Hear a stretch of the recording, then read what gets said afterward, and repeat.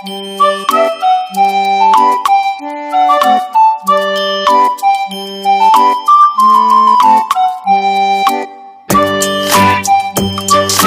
friends welcome to GK logs friends ఈరోజు GK logs ఏంటంటే మనము సాధారణంగా మన ఇళ్ళలో కోళ్ళను బ్యాక్ యార్డ్ అనమాట నాటు కోళ్ళు పెంచుకుంటాము. పెంచుకున్నాక ఏంటంటే అవి కోడి గుడ్లు పెట్టాక ఒక పొదగేస్తాం అనమాట ట్వంటీ వన్ డేస్ కల్లా ఏంటంటే ఆటోమేటిక్గా మనకి పిల్లలు వస్తాయండి. పిల్లలు వస్తాయి. అక్కడ ఏంటంటే మనం హెన్నను ఉపయోగించి ఆ పిల్లలు హ్యాప్ చేస్తాం. ఇక్కడ ఏంటంటే హెన్నను ఉపయోగించకుండా కొన్ని ఆర్టిఫిషియల్గా దానికి గుడ్డుకు కావలసిన వాతావరణాన్ని కల్పించి అవి ముఖ్యంగా ఏమిటి అంటే టెంపరేచరు లేట్ హ్యూమిడిటీ మంచి వెంటిలేషను అలాగే ఏంటంటే ఎగ్స్ని టర్న్ చేస్తూ ఉండాలి. అలాగే మనం ఆ ఎగ్ పొజిషన్ ఏ విధంగా పెడుతున్నాం సెటర్లో అవి అవన్నీ మనం న్యాచురల్గా ఎలా అయితే ఆడ కల్పిస్తాం ఇందులో కల్పించినట్లయితే మనకి మినీ ఇంక్యుబేటర్లో ట్వంటీ వన్ డేస్ కన్నా మంచి పిల్లలు మనం తీసుకుంటాం.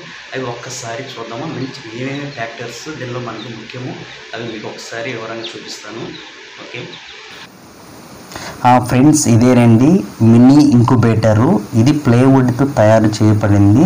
ఇందులో మనము దాదాపు రెండు వందల కోడిగుడ్లను ఇంక్యుబేట్ చేసి హ్యాచ్ చేసుకోవచ్చు. మనము కోడిగుడ్లను ఇంక్యుబేట్ చేసేటప్పుడు మనం కొన్ని మెయిన్ ఫ్యాక్టర్స్ని గుర్తుపెట్టుకోవాలి. అందులో మొదటిది టెంపరేచర్ అండి.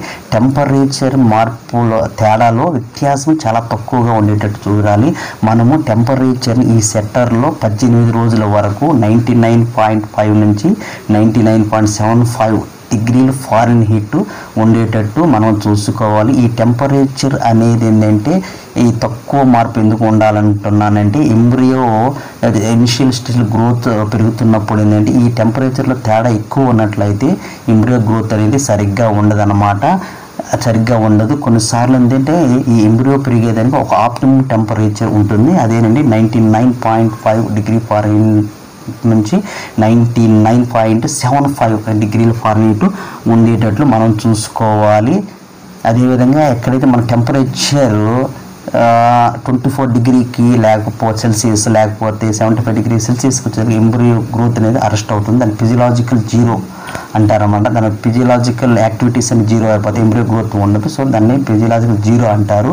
సో ఇక్కడ మనము ఈ టెంపరేచర్ అనేది చాలా ఇంపార్టెంట్ అనమాట ఈ టెంపరేచర్ అనేది ఎయిటీన్ డేస్ తర్వాత అయిపోయాక ఏంటంటే మనము హ్యాచెస్కి ready three days last three days అనమాట nineteen twenty twenty one days temperature అనేది హ్యాచెస్లోకి అప్పుడు చేంజ్ అవుతుంది అనమాట అప్పుడు మనము టెంపరేచర్ అనేది ninety eight point five degree Fahrenheit ఖచ్చితంగా ఉంచాలి.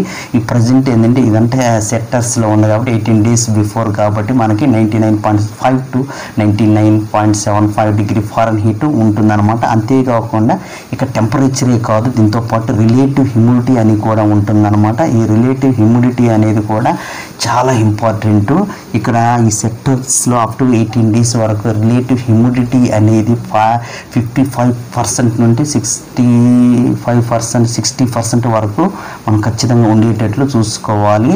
ఇక్కడ ఏంటంటే అంత డిజి డిజిటల్గా ఇక్కడ ఫిక్స్ చేయబడి ఉంటుంది కాబట్టి మనము ఫస్ట్ ఎయిటీన్ డేస్ సెక్టర్స్లో ఫిఫ్టీ ఫైవ్ నుంచి సిక్స్టీ పర్సెంట్ మన రిలేటివ్ హ్యూమిడిటీ ఉండేది. ఈ రిలేటివ్ హ్యూమిడిటీ అంటే ఏమి లేదండి. The loss of moisture from the eggs అనమాట ఎగ్స్ లోపల నుంచి ఈ మాయిశ్చర్ అంటే వాటర్ అనేది ఆపరేట్ అవుతూ ఉంటుంది షెల్ లోపల. అందువల్ల ఇక్కడ ఒక ట్రేలో వాటర్ని పెట్టేసి అందులో ఒక మంచి హీటర్ని పెట్టారనమాట హీటర్ పెట్టాము వాటర్ ఏంటంటే ఆపరేట్ అయ్యి మనం ఆ ఇంక్యుబేటర్ లోపల ఆ హ్యూమిడిటీ అంటే ఆ చె- ఆర్ద్రత అంట. మన తెలుగులో తేమ ఉండేటట్టు చేస్తుంది. అందువల్ల ఇక్కడ ఏంటంటే ఆ హీటర్ పెట్టి దాన్ని హీట్ చేస్తున్నారు అనమాట వాటర్ని హీట్ చేసి ఆ వాటర్ అంతా ఎవాపరేట్ అయ్యి ఆ రిలేటివ్ హ్యూమిడిటీ అనేది హ్యూమిడిటీ ఎయిర్లో అలా కంట్రోల్లో మెయింటైన్ అవుతూ ఉంటుంది. దీన్ని మనం ఏంటంటే dry bulb thermometer wet bulb thermometer ఉంటాయన్నమాట. ఆ దాని దాన్ని బట్టి మనము ఈ రిలేటివ్ హ్యూమిడిటీని మనం కొలుస్తూ ఉంటాం అన్నమాట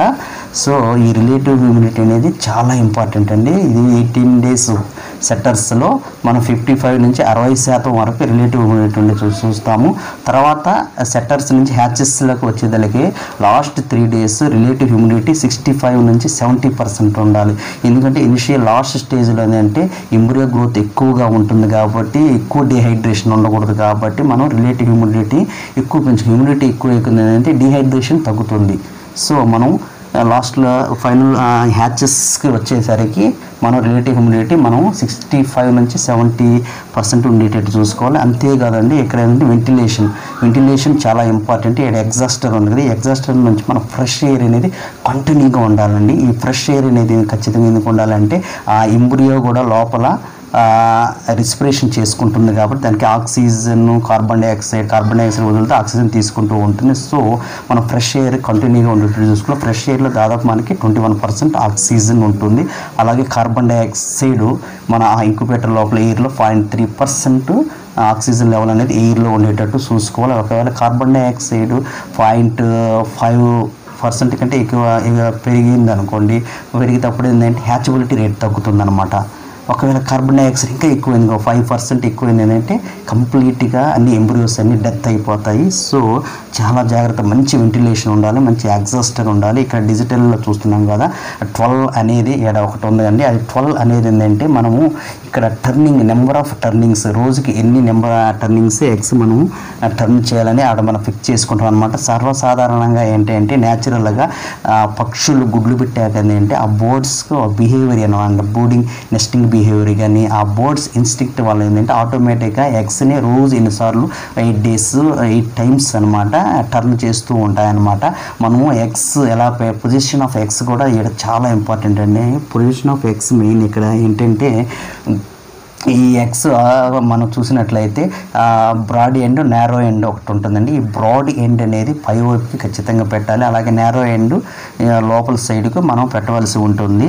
ఈ బ్రాడ్ ఎండ్ పైకి ఎందుకు పెట్టాలనుకుంటు అంటున్నానంటే పైన మనకి ఈ ఎంబ్రియో గ్రోత్ అయ్యేదానికి బ్రాడ్ ఎండ్ వైపు న్యాచురల్గా ఏంటంటే హెడ్ ఫార్మేషన్ అనేది మనకి జరుగుతూ ఉంటుంది అనమాట సో అప్పుడు బ్రాడ్ ఎండ్ వైపు మనం పెట్టినప్పుడు ఏంటంటే హ్యాచింగ్ అప్పుడు అది ఈజీగా తన ముక్కుతో ఆ షెల్ని మనం పగలగొట్టి ఎందుకంటే ఎయిర్ సెల్ కూడా బ్రాడ్గా broad end side air cell ఉంటుంది. ఎయిర్ సెల్ ఉండడం వల్ల హ్యాచెస్ టైంలో ఏంటంటే పల్మనరీ రెస్పిరేషన్ అనేది స్టార్టింగ్ స్టార్ట్ అవుతుంది అనమాట ఇన్స్టిట్యూషన్కి చాలా మంచిగా ఉపయోగపడుతుంది దానివల్ల ఏంటంటే అది ఈజీగా ఆ షెల్ని బ్రేక్ చేసి బయటకు వచ్చే అవకాశం ఉంటుంది. అది పొజిషన్ ఆఫ్ ఎగ్ అనేది చాలా ఇంపార్టెంట్ అండి. అదే కాకుండా పొజిషన్ ఆఫ్ ఎగ్ తర్వాత టర్నింగ్స్ చెప్పాను కదా.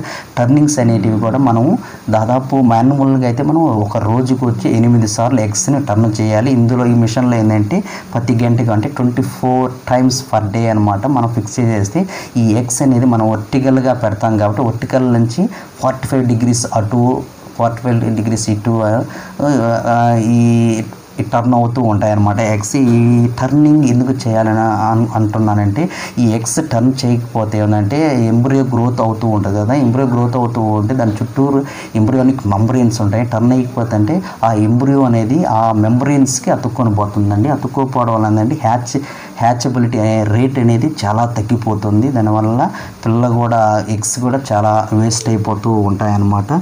ఈ టర్న్ అవుతూ ఉంటాయి కదా. చూడండి ఇందులో పిల్లలు చూడండి ఇలా ఉన్నాయి కదా. ఈ టర్న్ టర్నింగ్ అనేది ఇక్కడ మనం ఆటోమేటిక్ అనమాట ఒక ఆటోమేటిక్గా పెట్టేశారనమాట అక్కడ స్విచ్ చేస్తేనే మనకి ఈ టర్న్ ఎగ్స్ అనేది ఈ సెట్టర్లో అటు ఇటు అవుతుంది. ఇదంతా హ్యాచింగ్ టైం అనమాట ఇది ఎయిటీన్త్ డే అనమాట ఎయిటీన్త్ డే ఆన్వర్డ్స్ కాబట్టి కొన్ని ఆల్రెడీ కొన్ని పిల్లలు కూడా వచ్చేస్తున్నాయి. తర్వాత ఏంటంటే ఈ టైంలో వచ్చేదానికి ఈ మనం హ్యాచింగ్ టైంలోకి వచ్చేసరికి ఈ టర్నింగ్స్ అనేటివి ఉండవండి. లాస్ట్ త్రీ డేస్ అనేది మన హ్యా హ్యాచింగ్లో ఈ టర్నింగ్ ఎక్స్ టర్నింగ్ అవసరం లేదు. అదేవిధంగా ఇక్కడ ఏంటంటే రిలేటివ్ హ్యూమిడిటీ ఈ పిల్లలు ఈ హ్యాచింగ్ టైం అనమాట ఎయిటీన్ డేస్ అన్వర్డ్స్ పద్దెనిమిది రోజుల తర్వాత లాస్ట్ త్రీ డేస్ దాన్ని హ్యాచింగ్ పీరియడ్ అంటారనమాట అప్పుడు అన్నీ మారిపోతాయండి. అప్పుడు టెంపరేచర్ కూడా మారుతుంది. టెంపరేచరు ఎంత ఉండాలంటే ninety eight point five degree Fahrenheit ఉండాలి. అలాగే రిలేటివ్ హ్యూమిడిటీ కూడా చేంజ్ అవుతుంది. చూడండి ఈ బాస్కెట్లు హ్యాచింగ్ బాస్కెట్లు ఆ ఎగ్స్ పెట్టి ఎగ్స్ ఉన్నాయి కదా అవి పిల్లలు కూడా చేస్తుంది. అంటే ఆ బాస్కెట్లో ఉన్నాయి. అదేవిధంగా టెంపరేచర్ మారుతుంది రిలేటివ్ హ్యూమిడిటీ కూడా మనకి sixty five to seventy percent ఉంటుంది. అన్నీ మారుతాయినప్పుడు సో ఈ విధంగా మనం ఈ ముఖ్యంగా ఈ ఫ్యాక్టర్స్ అన్నీ బాగా మెయింటైన్ చేస్తూ ఉంటుందంటే ఏంటంటే మనకి హ్యాచబిలిటీ రేట్ బాగా ఎక్కువగా ఉంటుంది.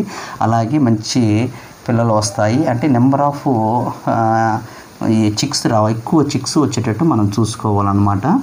సో ఈ విధంగా ఈ hatching period last three days hatching పీరియడ్లో ఈ విధంగా మనము అన్నీ మార్చుకోవాలన్నమాట. టెంపరేచర్ రిలేటివ్ హ్యూమిడిటీ మాట్లాడుతుంది. అన్నీ అనమాట. టర్నింగ్ ఆఫ్ ఎగ్స్ అనేది అవసరం లేదండి. ఎక్కువగా ఏంటంటే ఆరిజెంటల్గా పెట్టుకోవాలి. ఈ హ్యాచింగ్ బాస్ బాస్కెట్లో వచ్చి ఆరిజెంటల్ పెట్టుకున్నట్లయితే అది పిల్ల ఈజీగా షెల్ని బ్రోక్ చేసి బయటకు వచ్చే అవకాశం ఉంది. చూడండి. ఇదండి మన ఇంక్యుబేషన్లో తీసుకోవాల్సిన ముఖ్యమైన ఫ్యాక్టర్స్ అనమాట ఇంక్యుబేషన్ పీరియడ్లో ముఖ్యమైన ఫ్యాక్టర్ గురించి నేర్చుకుందాం కదా. ఈ వీడియో మీకు నచ్చినట్లయితే ప్లీజ్ సబ్స్క్రైబ్ చేయండి. అలాగే లైక్ చేయండి. మీ ఫ్రెండ్స్కి కూడా షేర్ చేయండి. Okay friends? అలాగే పక్కన ఉన్న బెల్ ఐకాన్ కూడా క్లిక్ చేయండి. Thank you. బాయ్.